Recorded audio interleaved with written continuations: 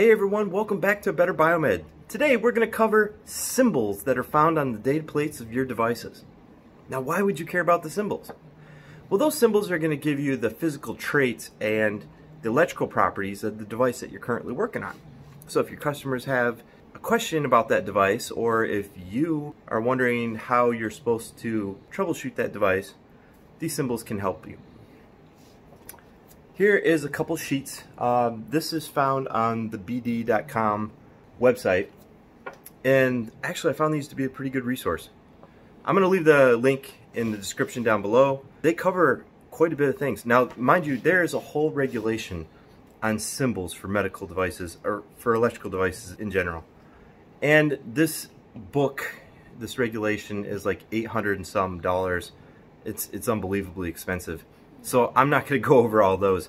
I'm just going to cover some of the rough ones that you're probably going to see when you walk up to a device. Some of the first symbols that you're going to see is right here. Your lot, your reference, and your serial number. These are your manufacturing date symbols. This is an expiration date.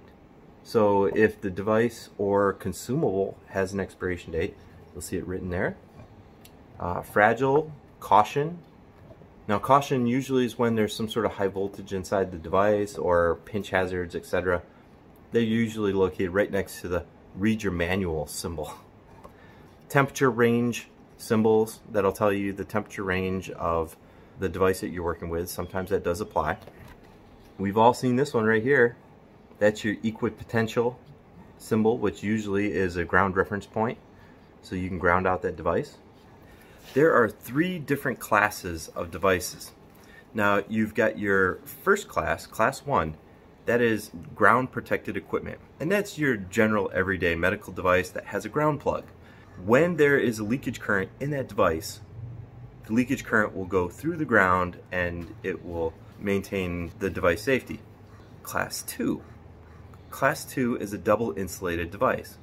Now this symbol, you're going to see a square inside a square. And if you hold up the, your Fluke multimeter, you'll see that it is a double insulated device. Double insulated devices often don't have a ground plug. It'll be just a neutral and hot prong on your plug. Class 2 devices are often your general appliances.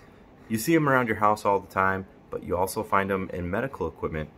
Now, double insulated devices have taken extra steps to ensure that at no time possible will mains current work its way to the outside and affect the user.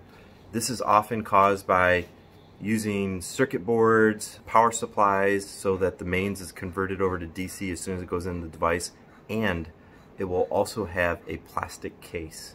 So double insulated devices, you got the power that comes in, and it's got a plastic case. Matter of fact, I've got a perfect example of that right here. Let's see, what we got? If you guys have been watching this channel, you guys know that I happen to love DeWalt tools. And what we have here, this is a UL listed device. Two prongs. This is a double insulated device. Notice it's got a plastic case. There is no ground prong, but there's no exposed metal in this. Whatever metal screws, fasteners that you have are going straight into other plastic casing. The only thing that's exposed and this is low voltage DC right here. So no risk whatsoever of getting shocked by this device. And then we're going to talk about class 3 devices. Class 3 are low voltage devices. The low voltage is considered to be 25 volts AC or 60 volts DC. And usually these are your battery powered devices. Now mind you, if you have a battery powered device that is possible to be plugged in or plugged into a charger, it's got to be rated as a class 2 or a class 1 device. Your class 3 devices might be something like a portable SpO2. It's battery powered, you change out the batteries and it keeps on trucking. Or the temporal thermometers, those things, they're definitely a class 3. You change out the 9 volt, they keep on going. Now we're going to talk about the uh, types of electrical properties. So we have type B, which is equipment with certain leakage protection. It's very generalized. It's the most basic level of device that you can use around patients. Then we have type BF, which is the same as B, but it's got isolated floating parts. Now you're going to see type BF around especially surgical devices. The reason being, the floating parts might be your shaver head or the motor that connects to it. I see these all the time in equipment drivers, shavers, stuff like that. Uh, you're also going to have them on irrigation pumps, etc. Anytime where you have a attachment that connects to the device, it's going to be isolated from mains, no matter what. They're never going to have mains going anywhere near a patient. In this day and age, it's just not necessary. The third type is type CF, and this is the most stringent electrical standard that we have in all of medical equipment. Type CF is considered, uh, it's certified for cardiac surgery.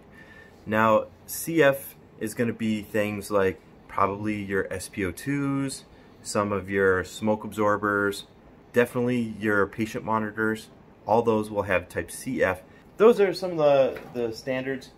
Let's see, some of the other stuff that you're going to see. Look down here. We got, oh man, I don't know why this is reversed. I'm sorry guys. I really apologize. But right here we have IP27 and IP22. Your IP standards are your level of waterproof. And that's very important when it comes to things like surgical equipment because it's considered a wet zone. Also, your small procedure rooms and stuff like that, they're wet locations. So you got to have an IP rating for all devices that are going to be in the vicinity. And those type of devices are often going to have either rubber gasket or it's going to have uh, some sort of permanent seal around the edges. So you got to be careful when you're cracking those devices open. And it might actually behoove you to check and see if it's got an IP rating before you start cracking into it because if it does, that means there's going to be extra hassle to get inside the device.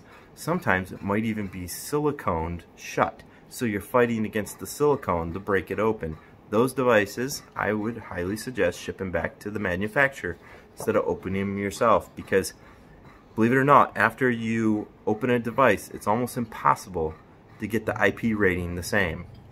So remember that if it's got an IP rating, you might want to ship it back to the manufacturer. Now here's an important one. See this little guy right down here that looks like an antenna? This one right here means that the device gives off some sort of electromagnetic radiation. It usually means it has Wi-Fi, or as I found out recently, it also means that it has those RFID tags. Now why would that be important?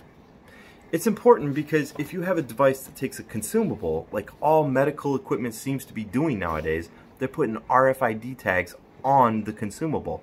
So let's say your users buy consumables from a third-party source, or there's a similar type of consumable that's used on another device, and they're going to try and use it on this device. It's not going to work because it's looking at that RFID to reset some sort of counter inside the medical device and say, hey, we're good to go. We're, we can use it for X amount of hours or one procedure or whatever. You're going to see this on everything from uh, smoke evacuators, the new ones.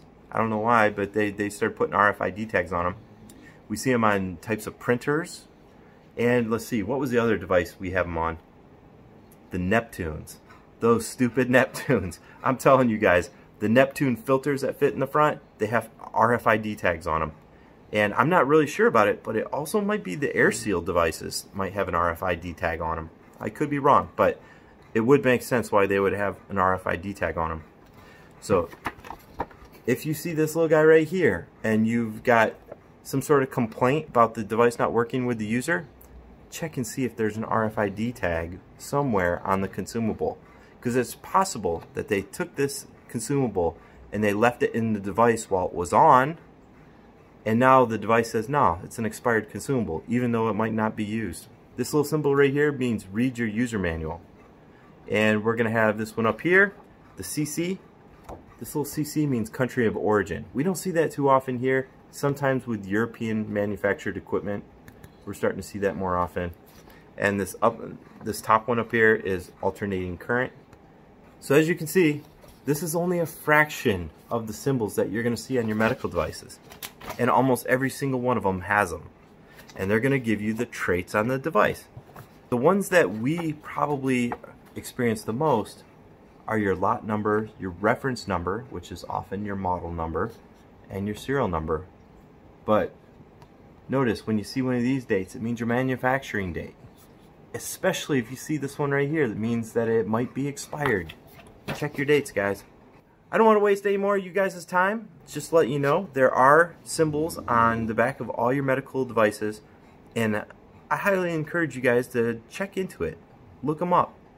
Sometimes you'll be a little bit surprised at what you read back there. So read your data plates. Thanks for watching, guys. Hope you liked this video. This is just a little something I was thinking about because I was talking about it with one of my coworkers. Believe it or not, like these things could apply to you. So it's it's one of those things. This is your craft. I encourage you guys to be the best at what you do in your craft, and one of them is understanding all the symbology that is located on your data plates. Thanks for watching. I appreciate it.